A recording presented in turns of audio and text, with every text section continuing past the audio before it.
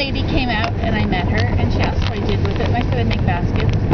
And she was so grateful that I was cutting it down because it was in the ditch right by their driveway along the highway and it blocks their view. So I'm glad I cut it down too. This is not the red osier dogwood. This is just regular willow. I'm keeping my eyes open for more.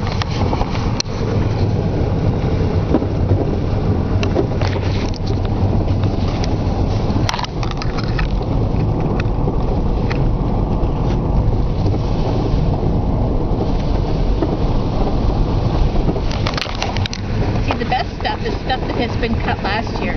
So if it's growing up in the ditch,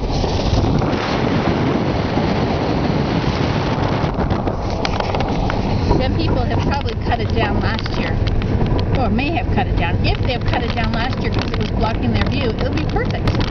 And I know in some areas the township goes along and cuts everything in the ditch, but they usually cut it in the middle of the summer, which means it's unusable because it's too short to use in the you know it's only grown half the way and so then it grows the other half but you end up with short stuff.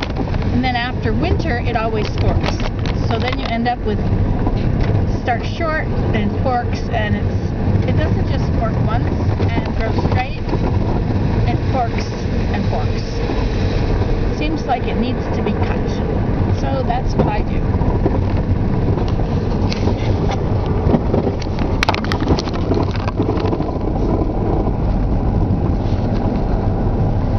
See, there's a bit of red. But my, and there's some more. Oh, that looks good. That's good willow right there. Can you see it? Oh, and there's some in there, but that's a little harder to get because it's in the branches. If it's in the branches, you might as well just wait and, um, well, you might as well cut the whole branch and then next year it'll come back better.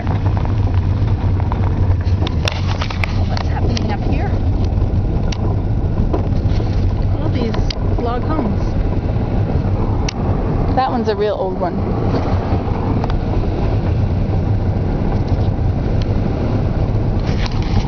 Well, I shall drive on. I can't pick up anything now because I got a full vehicle.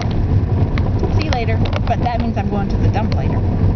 Right after we do Mira and make um, Ukrainian eggs. I hope I don't have. I hope I have enough batteries. Okay, bye.